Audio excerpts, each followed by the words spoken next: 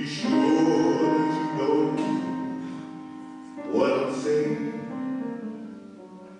I'll translate.